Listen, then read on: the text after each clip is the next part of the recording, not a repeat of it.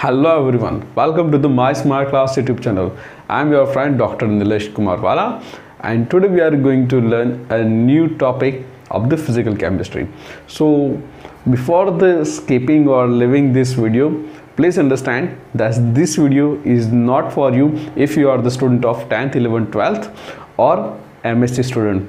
This video is only for my student who are in my college in the TYBSc okay? So if you are not part of this whole thing then you can leave this uh, video only not a channel. Because your interested topic will be coming to the next video and you can comment in the uh, comment box that which kind of video you want. So let's come to the main topic that this video is for the Clausius-Mosottis equation. So this topic is covered in uh, physical chemistry and it is very lengthy topic and uh, it is difficult to understand. So to simplify and to help my student i make this video and i derive that equation in the simplest form. So it will be the very helpful for the student of tybsc okay? So third year students focus on this topic and prepare this completely equation. Okay? So let's get started. So student we are at now in my laptop screen and the heading is Clausius-Mosottis equation by the MySmart class. So let's understand what is the Clausius-Mosottis equation. So the relationship between the polarizability of a molecule alpha and the dielectric constant epsilon r of the medium between the plate of a capacitor is given by Mosotti and Clausius and it is known as a Clausius-Mosottis equation.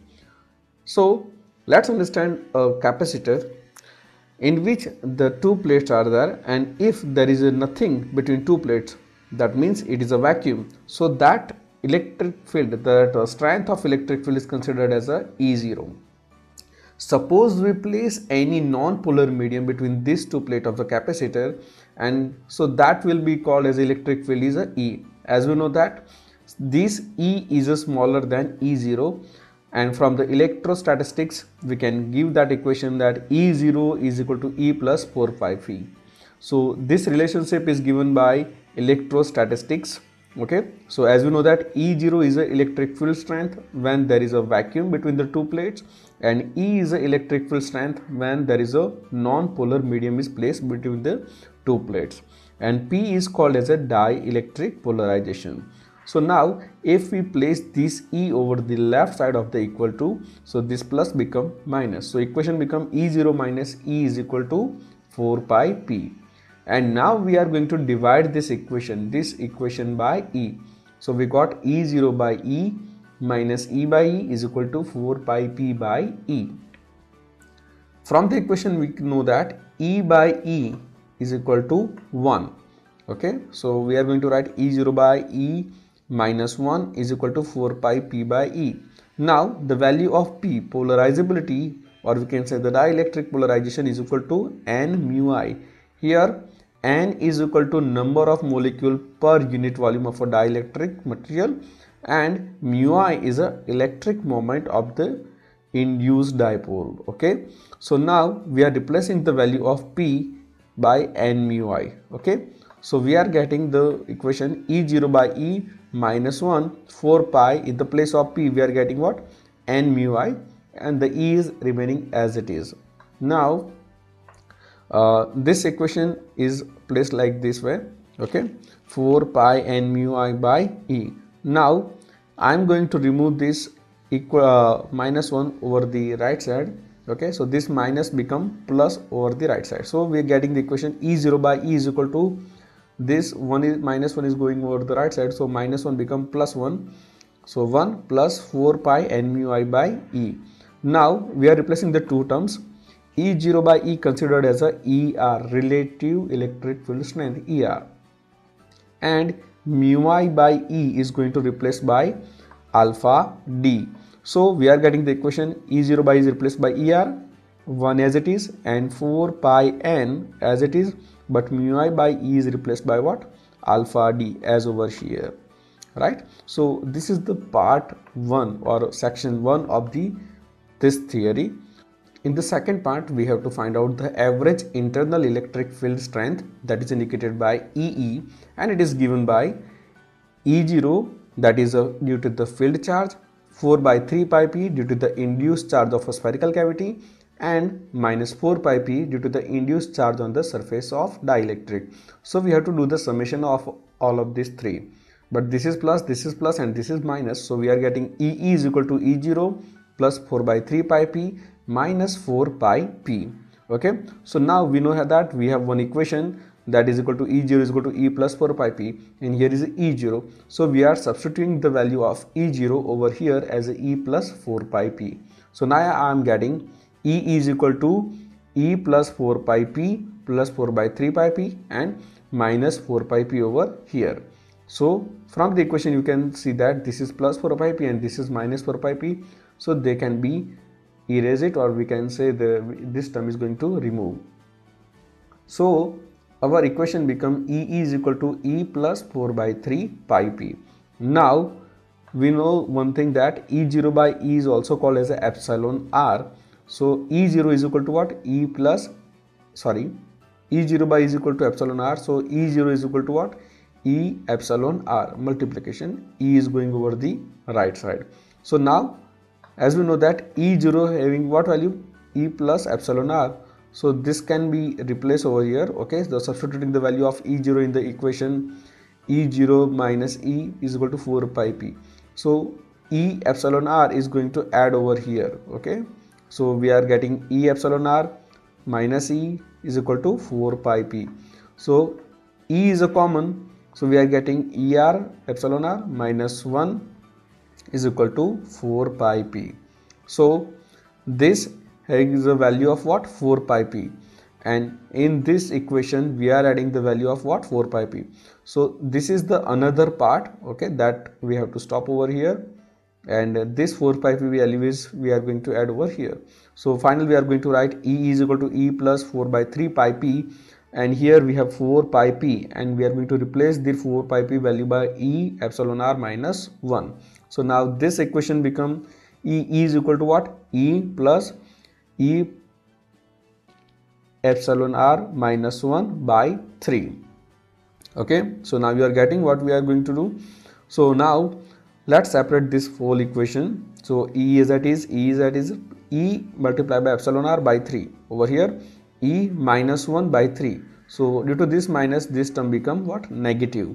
Now uh, e and minus e by 3 so we are going to solve this term okay? Because this term having only e.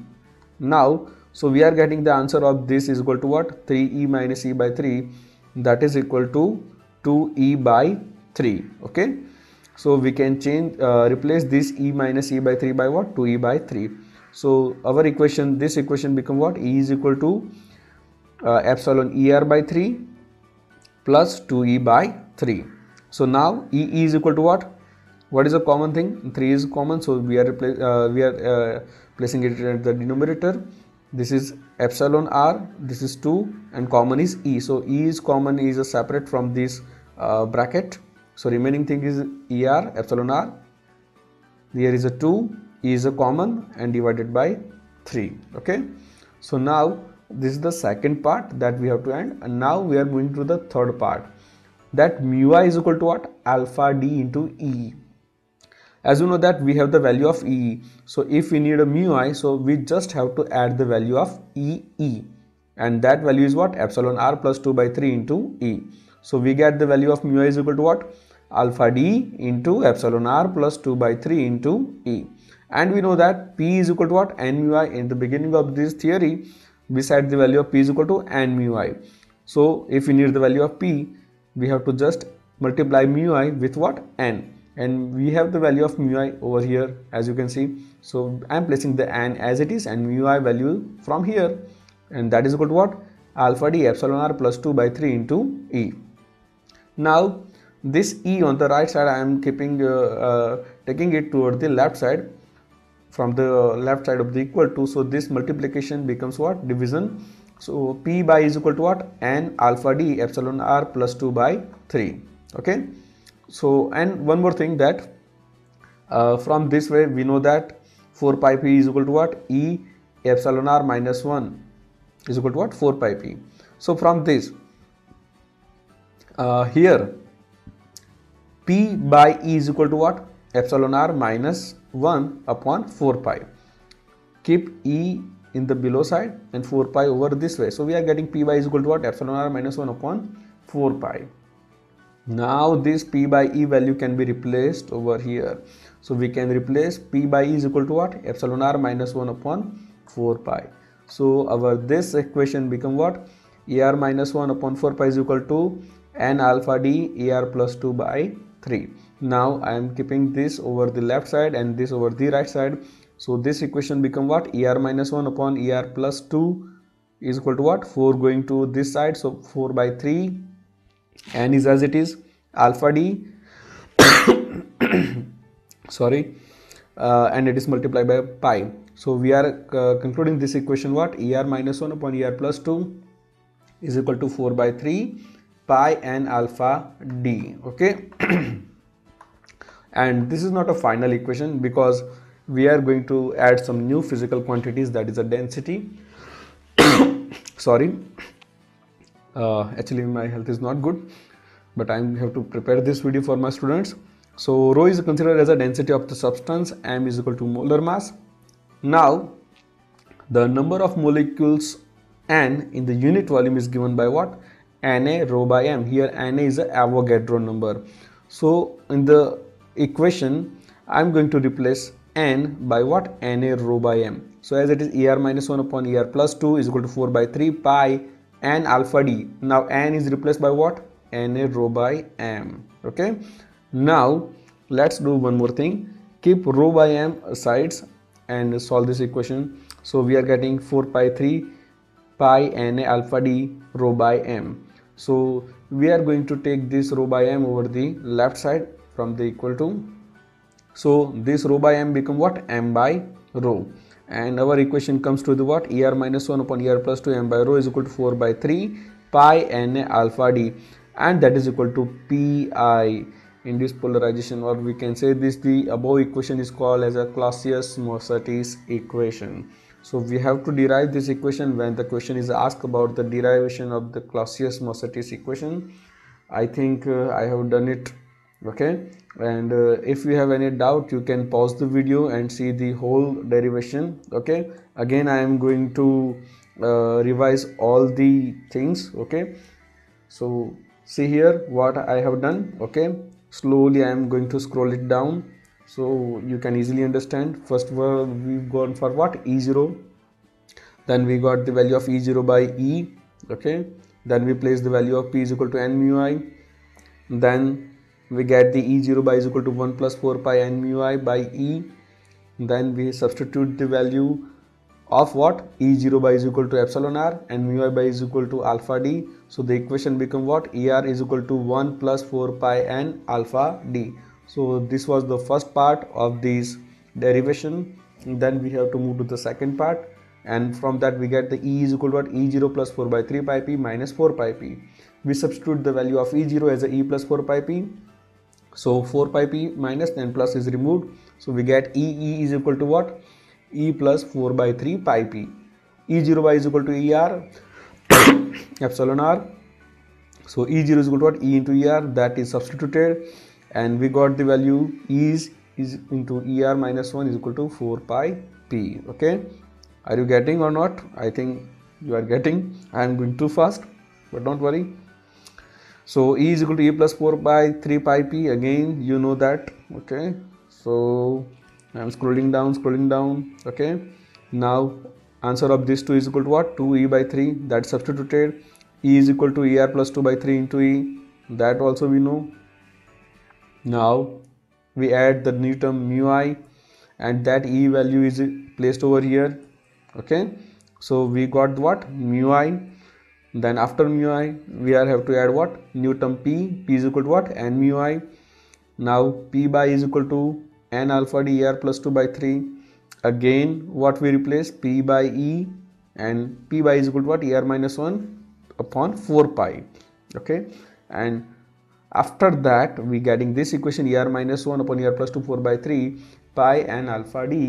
But again we have to add what? New term that is a density. And n is equal to na rho by m. So that na is replaced by na rho by m. Okay? Then rho by m is going toward the left side. And this is the our final equation. Er minus 1 upon er plus 2 m by rho is equal to 4 by 3 pi na alpha d. That is equal to pi okay? I know. I go very fast but this is the important equation so we have to learn it. Okay? So all the best and try to learn. Thank you. And one more thing. If you like this video don't forget to like share and subscribe. Okay? I need your support. Thank you